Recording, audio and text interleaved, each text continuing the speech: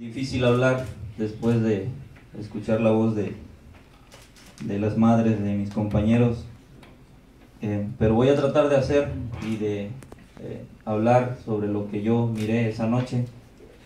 Eh, yo soy compañero de Benjamín, de Martín, de Antonio. pues como lo hemos dicho desde un principio, los primeros días después de los hechos, el Estado encuentra fosas clandestinas en Iguala, eh, encuentra 28 cuerpos e inmediatamente ¿no? empieza a decir que son los cuerpos de los estudiantes. Eh, y allá vamos, ¿no? Papás y estudiantes a ver al CEMEFO, a, los llevaban de aquí para allá, ¿no? Parecía un espectáculo, ¿no? Con cámaras y, fotos y todo, ¿no?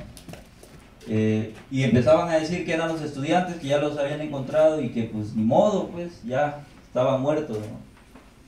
Este, afortunadamente la exigencia, la persistencia de los padres, el acompañamiento con los estudiantes y organismos de derechos humanos eh, hizo que se investigara eh, mediante el ADN pues, la, el origen de esas personas, porque estábamos hablando de cuerpos putrefactos, ya pedazos de, de gente, ya no eran, ya no estaban completos. Se hizo ese trabajo y se logró saber que no eran los estudiantes, que algunos eran mujeres, que algunos tenían hasta 50 años, ¿no?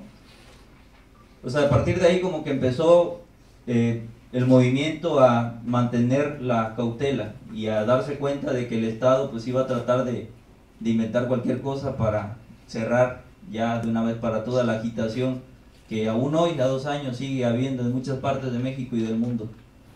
Eh, Después empezaron a hablar de la supuesta verdad histórica, ¿no? Donde dice la PGR que en, una, en un lugar, en un basurero, en un sitio llamado Cocula, pues hicieron una pira de 43 cuerpos acomodándolos como en forma de parrilla, con diésel, gasolina, eh, cinco tipos durante toda una noche, eh, bajo la lluvia, estuvieron pues alimentando el fuego e incinerando cuerpos, ¿no? Según las declaraciones de estas gentes, dicen que a eso de las 5 de la tarde, eh, pues terminó de consumirse el fuego y en bolsas de plástico trituraron los huesos en ese mismo sitio y los tiraron a un río. Y lamentablemente también muchas gentes eh, empezaron ahí eh, a decirle a los padres, a los estudiantes y al movimiento nacional e internacional que los estudiantes estaban muertos. ¿no?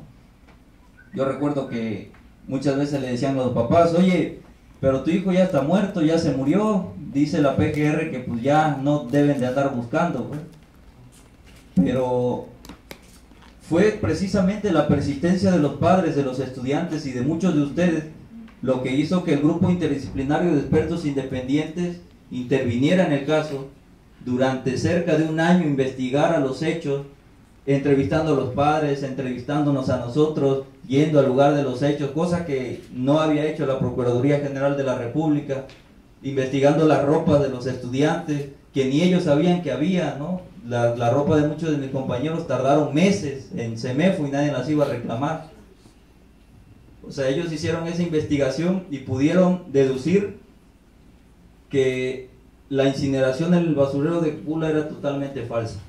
Yo que soy estudiante, yo que estuve esa noche con los compañeros, yo que vi cuando se los llevaban, puedo decirle que toda esa noche llovió, cuando estaba en el techo de una casa resguardándome de los militares y de las policías municipal, estatal, federal, eh, pues yo pude ver que era prácticamente una cacería, pues, y lo que querían era que no hubiese nadie para estar delante y denunciar lo que había pasado esa noche.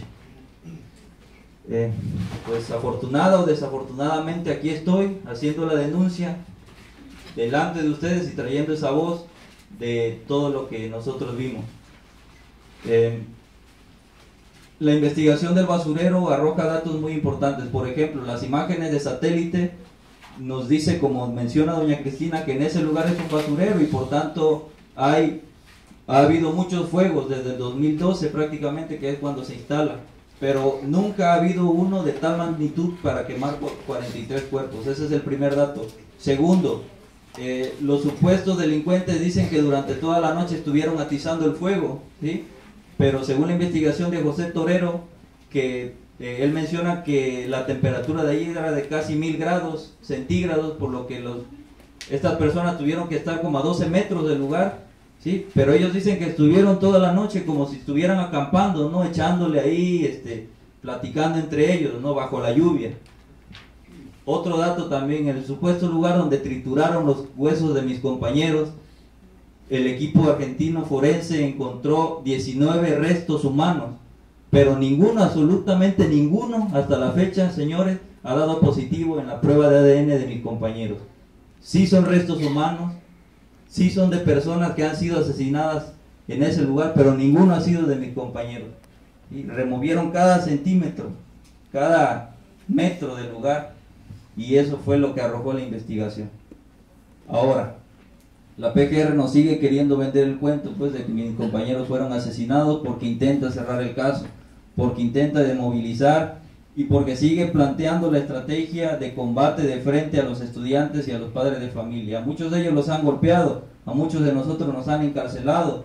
La semana pasada, el 4 de octubre, bueno, hace dos semanas, asesinan a dos compañeros, uno de ellos sobreviviente a los hechos del 26, igual que yo. ¿Sí? O sea, la ola de represión no ha terminado y va a continuar, lamentablemente. Pero por eso estamos nosotros aquí, compas, señores, señoras, estudiantes, para decirles que no pueden dejar solo al movimiento y no pueden dejar solo los padres de familia.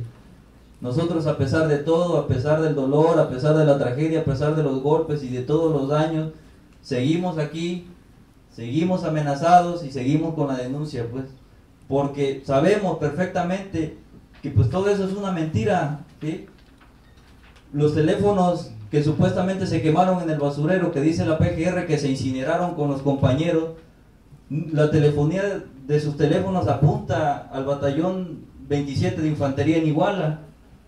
Al menos el celular de Julio César López Patol, sin que esté desaparecido, marca como su última ubicación del 27 batallón. En el caso del compañero Julio César Mondragón Fontes, al que le arrancaron la cara, la madrugada del 27, su, su, celular marca como su última ubicación el campo militar número uno en la Ciudad de México. Y si consideramos que fueron los militares los que lo encontraron esa mañana, por pura casualidad, en un lugar baldío, en un terreno baldío, parece que casualmente iban pasando por ahí, o sea, pues todo empieza como a tener lógica.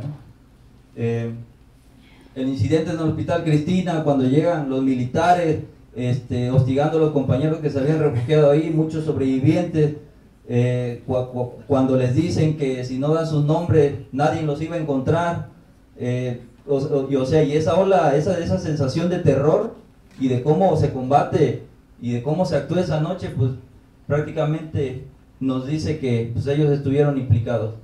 Desde las 12 hasta las 3, 4 de la mañana, que es cuando ellos toman el control del sistema de comunicación, que coordina todas las policías en el estado, eh, pues nadie sabe qué pasó. Hasta la fecha ellos no han querido declarar dónde dejaron a nuestros compañeros, porque la Secretaría de la Defensa Nacional dice que no lo van a hacer, que porque ellos son inocentes, que ellos no tienen que ocultar nada.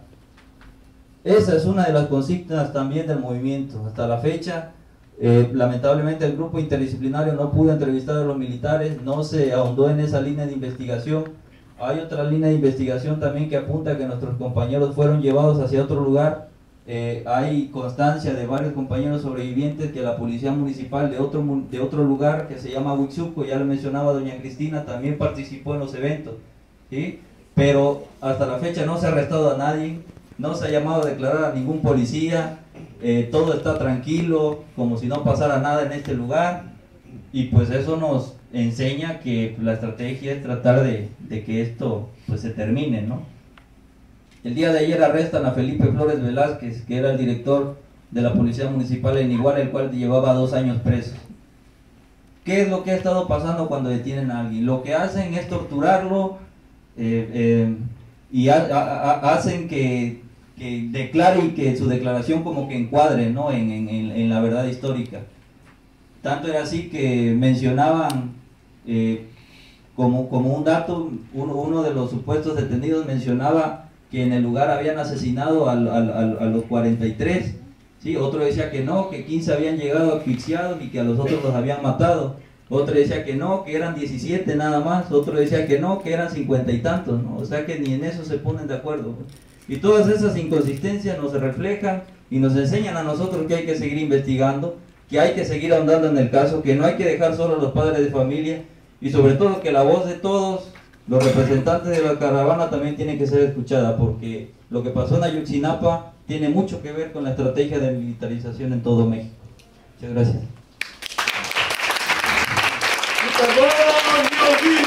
al gobierno asesino.